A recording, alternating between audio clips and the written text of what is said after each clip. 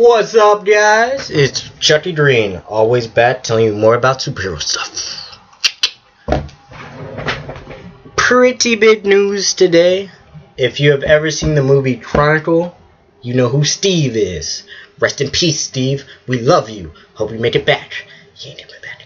Steve, Michael B. Jordan, as his actual name is, could become the new Human Torch in the Fantastic Four remake. I think this is awesome for at least three good reasons. And I'm going to tell it to you right here on the Chuckie Green channel. For number one, Steve already pretty much showed that he's a pretty awesome flyer. Michael B. Jordan was also in Red Tails, I believe, if you didn't see that, Tuskegee Airmen. Very important people. Keep it black. Uh, he flew in a plane, but still, he was pretty heroic in the sky. He looked good. In clouds and stuff, backdrop. Chronicle, he flew again. He made it so much fun and just awesome. So, if he plays the Human Torch, I I would really love to see that. Just him flying around, doing whatever it is he wants to do. Who wouldn't want to be on fire and flying around? I do. I want to. Please. Today. No, flame on. Did it work? No. Uh, second, this is pretty important. He could start a whole revolution of putting black people in Marvel movies. Because, alright, let's make a list of all the black people in Marvel movies. Let's go. Samuel Jackson. Hmm. Lonely. Lonely. Lon only one. I am so lonely. Good song. but there really aren't. Everyone's been pushing, pushing, pushing, pushing, pushing for another black character.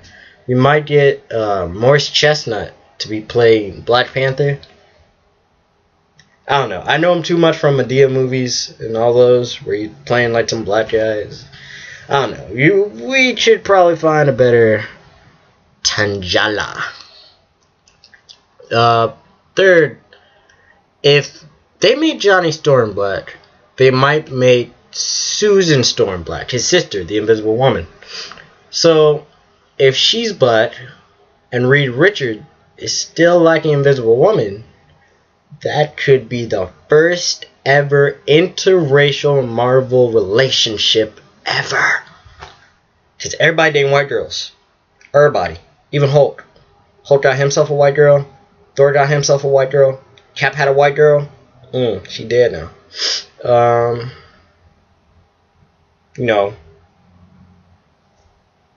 Scarlett Johansson, the white girl. It don't matter. But, but besides the point, everybody getting white people. Maybe Mr. Fantastic, you know, stretch on in here, get himself some black women. That's what I'm talking about. Just boom, ba dum dum, old booties. Mm. I don't know. That's what I want to see. So, that's about it for this video. I'm going to give you a little sneak peek into next week. I'm probably going to be talking about the Morris Chestnut thing, just because I brought it up. How he could play Black Panther. Hopefully I make a video about some of the rumors I'm hearing about Man of Steel. Might be some bonus characters in there. Maybe a na na na na na Batman reference. I'm open. I'm pushing for it. So, for this week, this has been Chuckie Green's video of just superhero nonsense. Just keeping you up to date. And try to think of a cool, if you're listening to this, try to think of a cool catchphrase. So we had Donald for Spider-Man, and that rolled off the tongue. I'm thinking like Jordan for Human Torch. That doesn't rhyme.